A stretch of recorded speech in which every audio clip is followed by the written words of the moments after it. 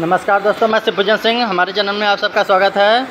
दोस्तों, आज का सवाल है, दो सिलेंडर है पर्सनली समझ लीजिए।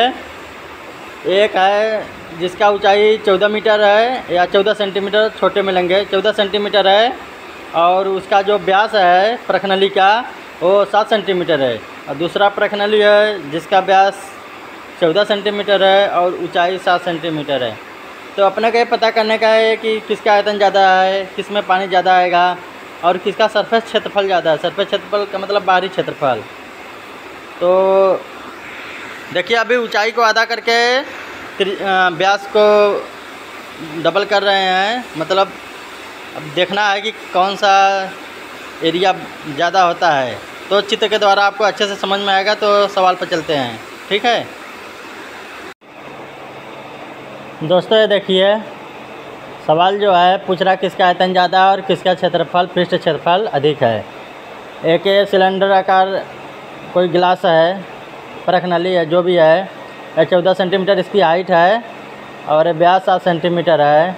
और जो दूसरा है, इसका ब्यास चौदह सेंटीमीटर है और ऊंचाई सात सेंटीमीटर है, ठीक है?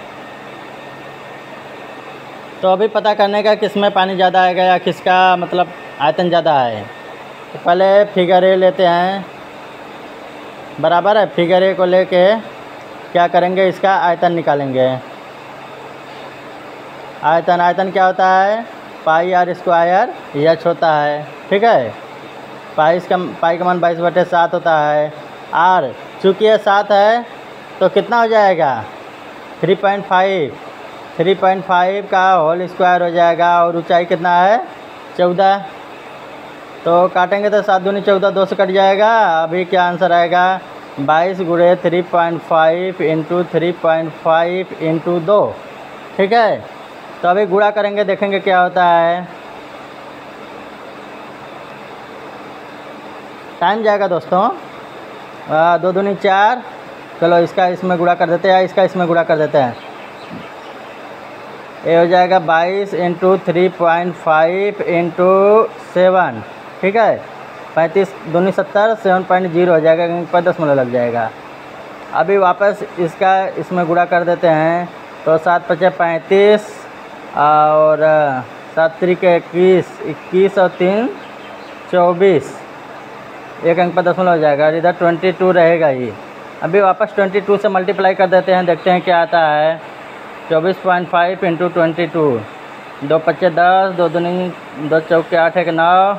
और दो दूनी चार। फिर वापस ज़ीरो नाइन फोर, वही चीज़ आएगा ठीक है? ज़ीरो नाइन थ्री, यहाँ पर फाइव आ जाएगा वन पर दशमलव। Five three nine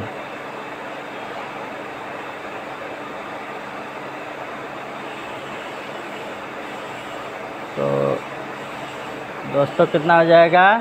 Five three nine centimetre cube आयतन है तो क्यूब में हो जाएगा। बराबर? चलिए, अभी बी का भी निकालेंगे। बी का निकालेंगे तो उसका भी बी का आयतन बी का आयतन कितना हो जाएगा? वो भी पाई आर स्क्वायर एच हो जाएगा। तो बाईस बटे सात पाई का मान होता है गुड़े आर आर चूँकि ब्यास कितना है? चौदह है, देखिए। यहाँ से यहाँ तक ब्यास चौदह है तो यहाँ से यहाँ तक इसकी जो त्रिज्या होगी और त्रिज्या कितनी होगी? सात होगी। तो सात होगा तो आपका सात गुड़े सात सात का स्क्वायर और ऊंचाई कितनी है? ऊंचाई भी सात है। समझ में आ रहा है ना? आर स्क्वायर का मतलब दो बार गुड़ा हो जाएगा त्रिज्या का और एक ऊंचाई सात, वो पहले से ही है। सात से सात कट गया, हो गया बाईस इंटू सते उनचास। चलिए गुड़ा कर लेते हैं इसका भी। उनचास में बाईस का गुड़ा करेंगे।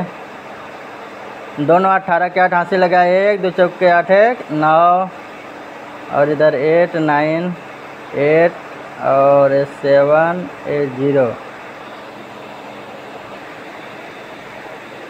हाँ तो दोस्तों, अभी कितना आ जाएगा? आंसर है, बराबर में आ जाएगा। One zero seven eight one zero seven eight cube ए आयतन। तो ये देखिए, जो ए वाला है, इसका आयतन कम है। कितना है? Five three nine five three nine और इसका कितना है? One zero seven eight one zero seven eight cube चूँकि आयतन क्या होता है? हमेशा क्यूब में रहता है, बराबर है? तो अभी ये देखेंगे तो इसका ये डबल है। मतलब जितना इसमें पानी आएगा, उसका डबल इसमें आएगा पानी। क्योंकि इसका आयतन डबल है। ऊंचाई कम करके त्रिज्या डबल किया हुआ है। तो एक तो बात मालूम हो गया कि एक आंसर तो ये हो जाएगा कि जो बी बी है, वो ग्रेटर है, बड़ा है, ठीक है? इसका आयतन ज़्यादा है। अभी सरफेस एरिया निकालेंगे। सरफेस एरिया निकालने के लिए देखो, एक तो इसका पेंदी का रहेगा एरिया जो भी पेंदी रहेगा उसका भी क्षेत्रफल रहेगा और एक गोले के किनारे किनारे जो गिलास का किनारा रहेगा उसका भी क्षेत्रफल एक होगा, ठीक है? तो दो क्षेत्रफल रहेगा। तो पहले ए वाले को ले लेता हूँ। एक आप पृष्ठीय क्षेत्रफल।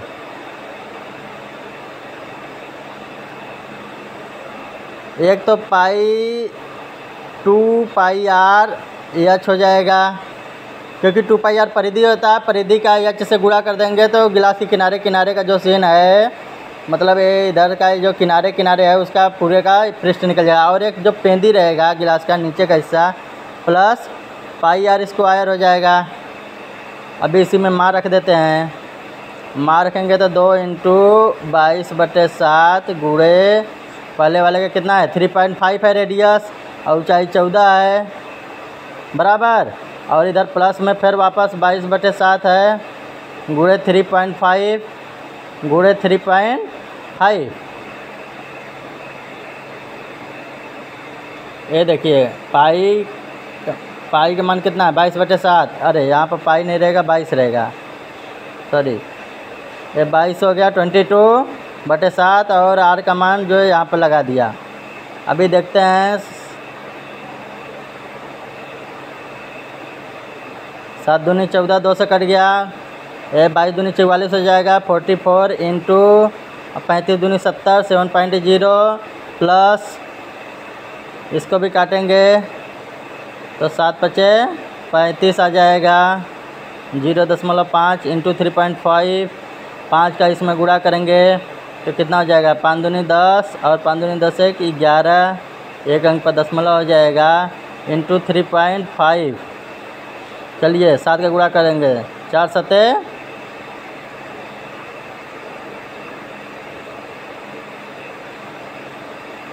सात चौक अट्ठाईस की आठ, और इधर हो जाएगा सात चौक अट्ठाईस, उनतीस तीस। ये हो गया तीन सौ आठ प्लस ग्यारह पचे पचपन अस्सी लगा पाँच जाते हैं तैंतीस पाँच, अड़तीस, एक अंक पर दशमलव, दोनों को जोड़ देंगे। तो यहाँ पर दशमलव पाँच तो आएगा ही, और ये हो जाएगा आठ आठ सोलह की छः अस्सी लगा एक, तीन एक चार, और इधर तीन।